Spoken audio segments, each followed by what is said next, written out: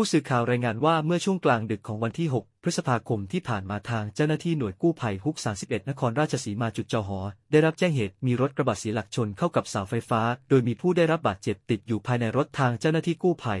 จึงได้นำกำลังเจ้าหน้าที่พร้อมกับอุปกรณ์ตัดทางเข้าพื้นที่จุดเกิดเหตุ ซึ่งจุดเกิดเหตุนั้นอยู่บริเวณ ถนนเลี่ยงเมืองนครราชสีมามุ่งหน้าจังหวัดขอนแก่น ในเขตพื้นที่ต่อจอหออมือ จังหวัดนครราชสีมา บริเวณเสาไฟฟ้าริมถนนนั้นพบรถกระบะที่ประสบเหตุ เป็นรถกระบะยี่ห้อฟอร์ดสีแดงทะเบียน 9กด9623 กรุงเทพมหานคร ด้านในฝั่งคนขับพบผู้บาดเจ็บเพศหญิง ซึ่งเป็นภรรยา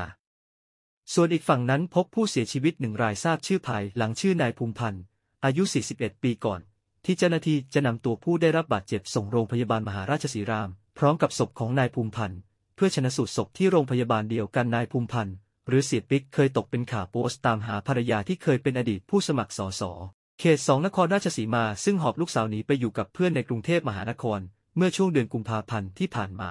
ซึ่งขณะนั้นทางภรรยาได้มีการเตรียมเรื่องที่จะฟ้องหย่ากับเสียปิ๊ก โดยสองฝ่ายมีการเจรจาที่มูลนิธิปาวี และได้มีการตกลงเคลียร์ใจกับทางภรรยาจนคืนดี และมาอยู่ด้วยกันอีกครั้งก่อนที่ทั้งคู่จะมาประสบอุบัติเหตุจนทำให้เสีย ปิ๊กเสียชีวิตในครั้งนี้โดยศพของนายภูมิพันธ์ หรือเสียปิ๊กนั้นได้ตั้งบำเพ็ญกุศลศพอยู่ที่ศาลาสองวัดสแกต่อในเมืองอำเภอเมืองจังหวัดนครราชสีมา โดยจะทำการสวดอภิธรรมศพสี่วัน และจะมีพิธีชาปนกิจศพ ในวันที่ 11 พฤษภาคม 67 นี้